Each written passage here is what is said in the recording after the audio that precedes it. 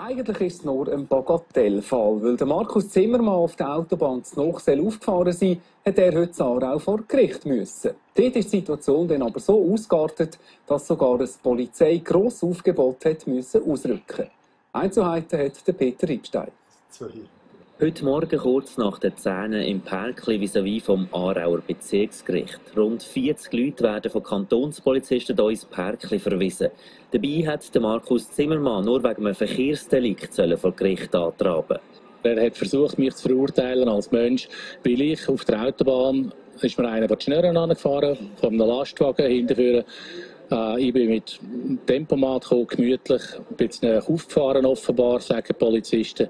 Äh, und für da hätte ich äh, verurteilt werden. Ich habe eine Klageschrift bekommen, 1600 Franken Buß, 1100 Franken Gerichtskosten. 29 Franken Polizeikosten. Die armen Keiben haben drei Viertelstunden müssen diskutieren für die 29 Franken. Der Anklagte nimmt aber gut 40 Sympathisanten mit an die Verhandlung und verlangt vor Prozessbeginn vom Gerichtspräsident eine schriftliche Bestätigung, dass der überhaupt kompetent ist, die Verhandlung gegen ihn zu führen. Er ist natürlich, weil ich beharrt habe äh, auf die Legitimation, dass er mir das nachweist, ist er, tut mir leid, in, in Ecke getrieben worden von mir. Ich habe ihn äh, eingehängt und gesagt, ich wollte, bevor wir irgendeine Verhandlung tut, eröffnen, äh, die Legitimation müssen und er hat nicht keinen anderen Ausweg gehabt, weder äh, sich so zu wehren. Und da hat er jetzt Macht spielen das lässt sich der Gerichtspräsident nicht bieten. Er fordert die Verstärkung von der Kantonspolizei an und lässt den Saal kurzerhand räumen, wie Augenzeugen berichten. Der Chef von, denen, von der Polizei hat dann gesagt, jetzt bitte euch den Saal verloren, hat das mehrmals wiederholt und hat ein Ultimatum gestellt, jetzt sind zwei Minuten euch den Saal verloren. Ist dann wieder nichts passiert. Und dann sind dann vom, vom Polizist, vom Chefpolizist, der drin war, noch mehr aufgeboten worden. Dann sind dann plötzlich vor dem Eingang noch etwa fünf oder sechs rumgestanden. Dann ist der Richter dann äh, als Erster, hat den Saal verloren. Und dann sind alle ihm hinten gelaufen und draußen sind wir dann für etwa 30 Polizisten empfangen worden. So einen Vorfall hat man beim Aarauer Bezirksgericht noch nie erlebt. Der Prozess wegen des Neuen Auffahren hat man dann nicht mehr gestartet. Entsprechend überraschend war natürlich auch, was dort passiert ist. Und durch das Verhalten des Beschuldigten und diesen 40 Zuschauern hätte die Verhandlung gar nicht so stattfinden wie sie vom Gesetz her vorgesehen war. Der Beschuldigte Markus Zimmermann dürfte jetzt einen neuen Verhandlungstermin bekommen. Ob er den wieder mit 40 Sympathisanten antrabt, weiß er noch nicht.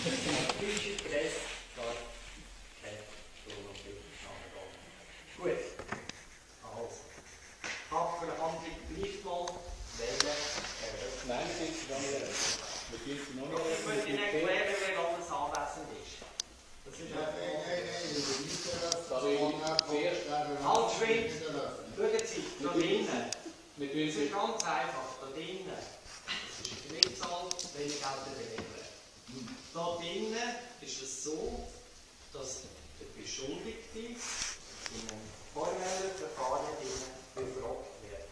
Die Anwesenden sind Zuschauer. Zuschauer haben nicht die Möglichkeit, da drinnen etwas zu sagen. Sie sind also Zuschauer. Wenn sie sich an die Regeln nicht halten, dann müssen sie leider aus dem Saal müssen. Wir führen diese Verhandlung neu in der die und nicht klärt sind. Ich will ganz klar wissen, ist das Gericht legitimiert, über Menschen zu verhandeln, zu urteilen und zu richten? Ja, das Gericht ist legitimiert. Wie tun Sie das legitimieren? Schauen Sie die Begründung vom Urteil.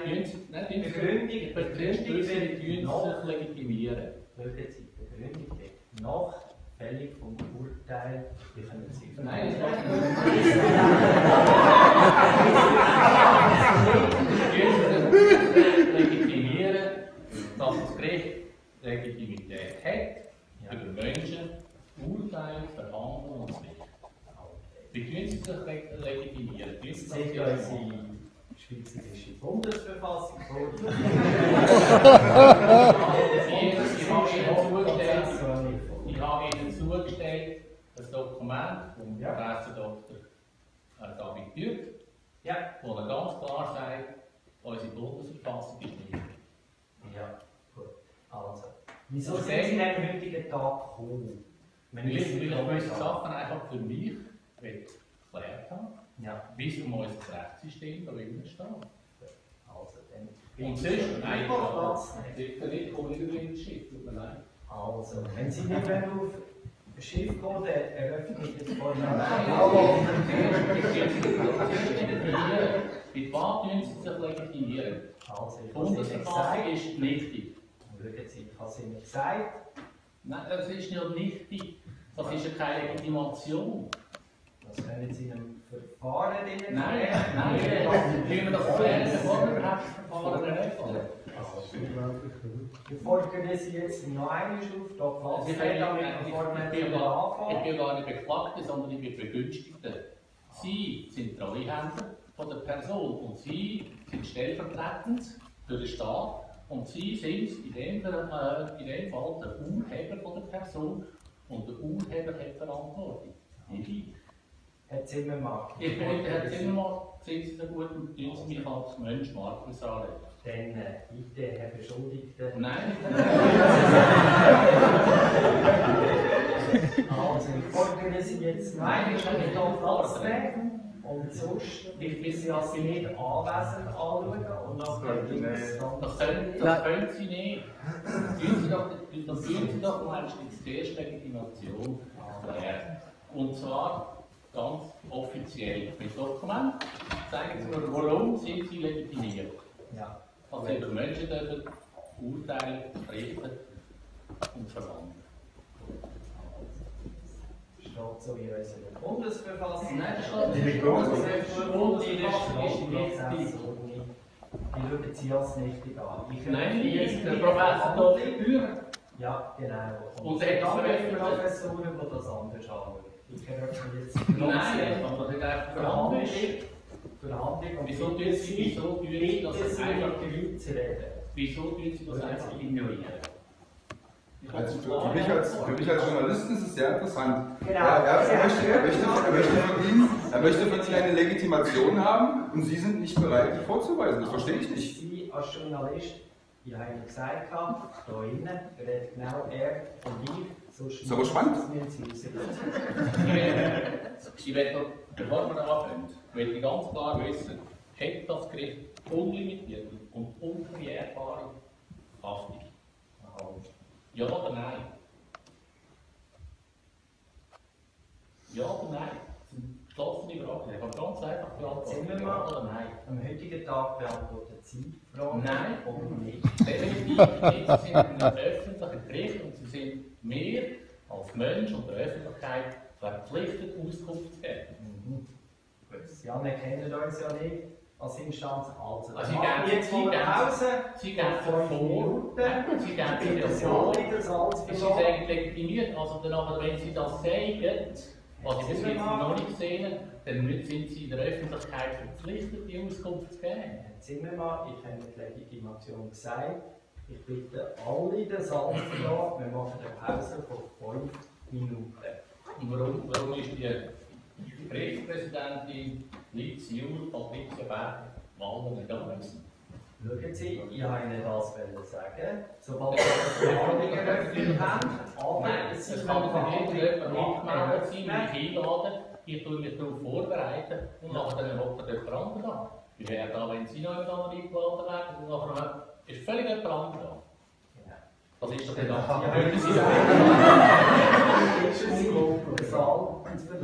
Sie würden das auch nicht akzeptieren, oder nicht? Das kann ich nicht vorbringen, sobald man es eröffnet. Nein, natürlich, was ich vorher habe. Doch, ich bin jetzt im Laden, dass wir die Verhandlungen eröffnen, ob einfach Grundlagenbildungen sind. Also, wenn Sie Grundlagen gesamthaft beschreiten, dann beschreiten Sie den Punkt. Nein, es sind ganz viele Sachen, die da plötzlich geändert haben. Ihr nehmt euch da irgendwelche Rechte raus, keine Ahnung, woher das ihr die nehmen. Jetzt sind wir mal einfach immer alles ändern, das geht nicht. Pause Das, das von grenzt für mich an Willkür. Minuten. Oder? Wir machen jetzt eine Pause jetzt. So machen wir eine Was Pause. was erwarten Sie Den denn? Saal zu verlassen. Was erwarten Sie denn? Ich bitte Sie alle, den Saal zu verlassen. Was erwarten Sie nach der Nach fünf Minuten. Ich werde darauf bestehen, dass wir die Sachen klären. Und ich bitte Sie, ganz Bitte Sie, den Saal zu verlassen. Mit allem, das ist ein öffentliches Gebäude. Das Ich lassen bin wir die Polizei noch Ich kann nichts am Hut mit der Polizei. Ich will sie nicht bedrohen, gar nicht. Ich will einfach nur gewisse Sachen Aber schauen Sie, da innen gelten Nein. Regeln, da innen gelten Vorschriften. Die akzeptieren Sie nicht, dann Nein, schauen Sie, schauen Sie, es kann doch nicht ich sein, bitte dass Sie, irgendwelche Sachen. Zu verlassen. Es Jetzt. kann doch nicht sein, dass Sie irgendwelche Sachen Jetzt Jackson Usen.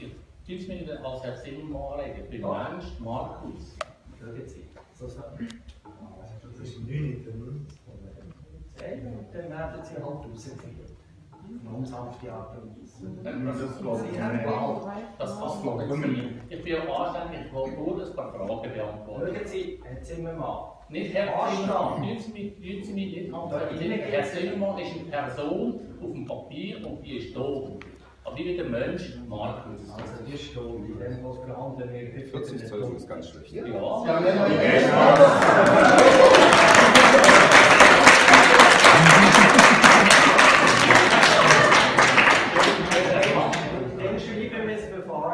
Folgeding ab. Wenn die Person nicht mehr existiert, dann schreiben wir das Ja. ab. Das, das ist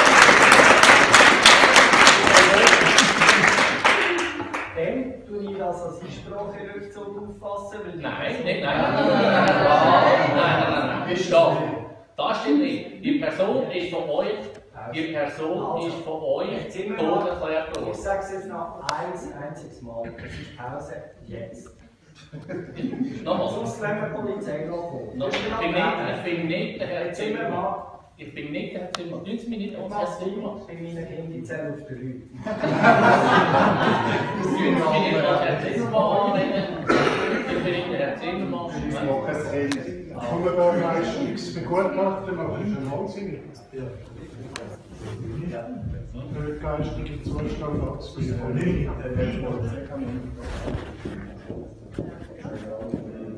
So, Sie warten vor Ihrem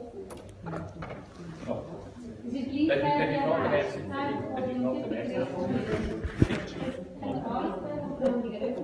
Sind zufrieden Kriminalität allen Firmen, fertig.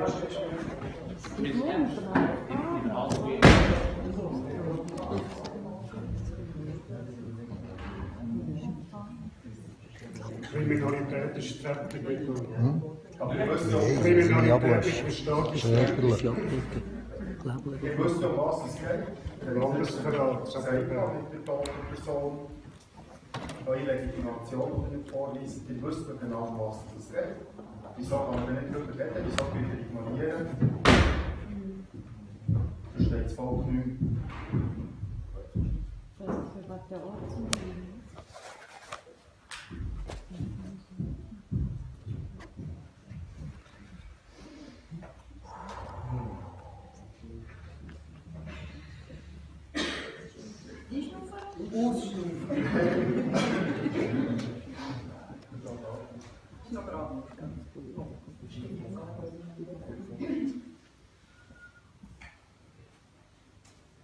finde es schade, dass Sie, dass Sie das nicht beantworten ich Ihnen beantworten. Stellt sich an, dass wir hier hocken, wieso dass wir hier hocken und was Sie Und sich die Regeln nicht unterwerfen wollen, dann frage ich mich einfach. Genau. Wenn Sie, wenn Sie von mir verlangen, dass ich mich dann unterwerfe, ja. dann sind wir in der Situation von der Sklaverei. Jetzt ist strafrechtlich, im Strafrecht muss sich jeder... Nein, das stimmt so nicht. Nein. Nein. Unsere, unsere Verfassung und unsere Menschenrechte sagen, Sie dürfen in dem Fall Leute abschlagen, der hat keine. Nein, Nein, das stimmt nicht. Das stimmt nicht. Da bin, ich, da bin ich bei Ihnen. Ich gehe mit jedem Menschen sehr respektvoll um. Ich respektiere ihn. Und mein Grundsatz ist, ich tue keinem anderen Wesen irgendetwas leid oder einem Schaden zufügen. Das ist mein Grundsatz.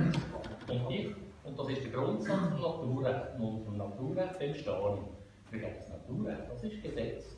Das kann man nicht ändern. Da habt, und solange ihr mir das nicht nachgewiesen habt, dass es richtig ist, solange ist das da alles nur Papier und sind angewiesen, weil ihr sind Firmen. Schauen Sie, und da können Sie klären, sobald das... Nein, wir, wir können das vorher klären. Nein. Sie können mal. Sie, Sie wissen gar nicht, was dabei rauskommt. Das ist ein Untertitel, oder was? Das kann rauskommt. Nein, es kann doch nicht sein. Es kann doch nicht sein, dass man ein Gericht, das offenbar nicht legitimiert ist, überhaupt kann eröffnen. Da stimmt doch irgendetwas nicht. Das stimmt doch irgendetwas nicht. Der Rechtsgrundsatz. Sie haben Sie haben Also, Sie mit dem Handy, haben Sie mir wieder das Handy. der Rechtsgrundsatz von dem Gesetz sind alle gleich. Mit dem es nur noch runtergehalten, dann haben Sie. Wir werden es klären, wir vor dem Telefon. Der Rechtsgrundsatz von dem Gesetz sind alle gleich. Ähm, das heisst natürlich auch, dass das Volk kann erwarten, die Bürger können erwarten, dass das für alle zählt.